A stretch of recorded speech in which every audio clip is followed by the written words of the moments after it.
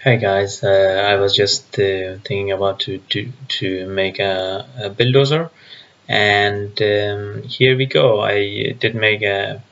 a bulldozer, and um, well, uh, this bulldozer is based on uh,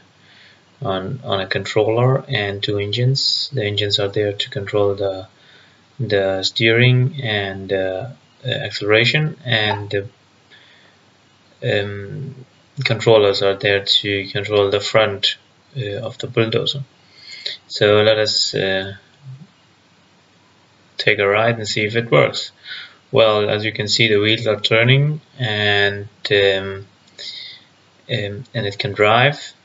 the two main things about a bulldozer and it can also flip its uh, front end so it basically works Mm, thank you for watching and uh, next time I will do a, a racing track with a car that can finish the track